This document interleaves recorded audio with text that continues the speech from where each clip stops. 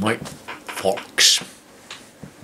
Tuossa mä olen miettinyt taas, että mutta tässä keksiä taas jotakin tämmöistä mulle epänormaalisia, erityisen oudompaa lähestymistyyliä tänne YouTube-maailmaan. Ja mä katselin tuossa sotalukoon yhtä pätkää ja mä saan pienen idean, idean siitä. Katsotaan mikä se homman nimi on. Eli jotakin semmoista, mitä mun kanavalla harvemmin on esiintyy. Katsotaan ihan pian pätkä tästä. Niin ensi alku. Tämä on siis, jos papanaama olisi rehellinen. Katsotaan mitä sieltä löytyy. korkeinta ihan vaan pari kappaletta kuukaudessa. Varsinkin mun ulkonäön kommentointi ahdistaa mua suunnattomasti, siksi mä panostan niin paljon hiuksiin ja meikkeihin. Itse asiassa ehkä juuri se on se syy, miksi mun videoiden väli on aina pari viikkoa. Ei nämä pakkelit itsestään pakkaudu tähän naamaan. Tämmönen. Eli sotalokko taas tapansa mukaan selitti tätä, että tämä papanaama on muuttanut, millä se sanoi hevosen eikö lehmäpaskajoukosta tuonne Helsinkiin ja tuntee itsensä helsinkiläiseksi. Hän on hahmo, mikä on vähän samanlainen kuin nämä plukka olla, että kun YouTube-nimiä tulee vähän enemmän, niin sitten on kauhea tarve muuttaa Helsinkiin. Mä juuri sitä kerroin tuossa edellisessäkin videossa, että miten tämä Helsinki-eliitti dominoi tätä systeemiä. Ja tosiaan Tuure Boeliustakin sanoi, että hänenkin on pakko muuttaa Helsinkiin. Mä haluan nyt näyttää seuraavaksi teitä tästä Papanamasta ihan toisenlaisen video.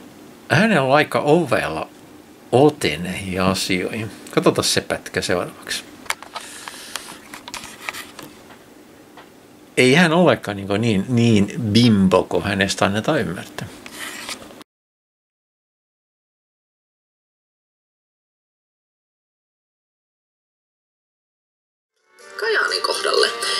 Twiittasin tästä tietenkin.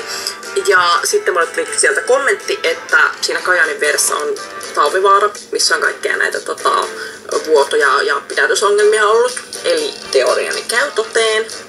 Eli ehkä jopa uskaltaisin julistaa, että Kajaani on Suomen uusi anatominen persereikä. Koska siis ei...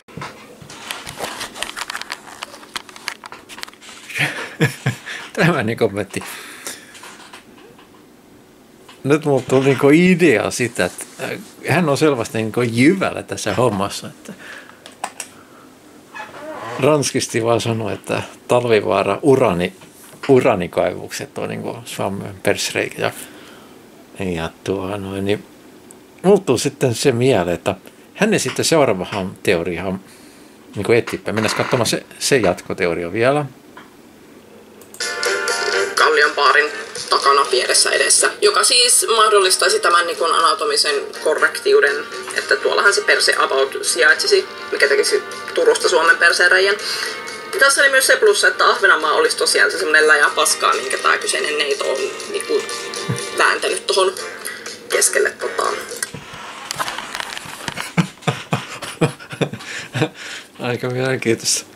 Aika mielenkiintoista settiä. Naisilta tähän tulee mulla vielä oma teoria tähän hommaan. Mä haluan näyttää sen vielä tähän keskusteluun vielä lisäyksi. Eli nyt on kyse siitä, että Suomen kartta on Suomi-neito. Ja tässä kysytään, että niin missä on, missä on Perserikän paikka. Ja sitä on sijoitettu tosiaankin tänne Kajaanille, Kajaanihin. Sitten on tämä tähän Turkuun yritetty saada se jotenkin sopima väki, väkisin. Mutta asia on ne selvästi niin ajateltu ihan loppuun asti. Nimittäin jos kerran kiinnostaa, että missä on paska, niin täytyy sitten miettiä myöskin, että missä kusi liikkuu. No, tietenkin sitä kuussa täytyy ruveta hakemaan täältä poliisiopiston kohdalta Tampereelta. Sieltähän se lähti. Sieltä on virtsaputki tulee tänne näin Kokemäenjokea pitkin tänne Poriseutuville.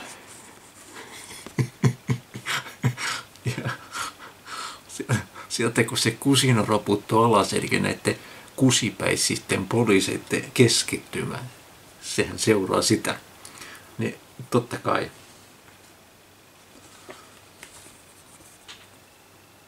Suomen kusipäät on täällä Olkiluodon ydin poliiseja.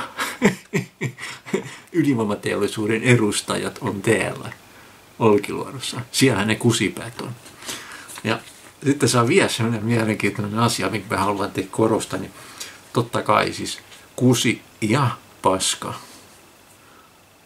täältä Talvivaarasta ja Olkiluodosta, nehän lirise reittä pitkin alas. Mitä se pohjalla? Mitäs muuta koko Helsinki? se, se, se, se, kusi ja paskaa Helsingissä. Se on, niinku, se on niinku ihan selvä. Sinnehän ne kaikki kasaantuu. Ja siellähän ne Suomen poliisit on kaikki. Nettipoliisit ja kaikki. Otte, kiitokset vaan Papanamalle taas tästä hienosta ideasta, että hiottiin tekniikka vähän eteenpäin.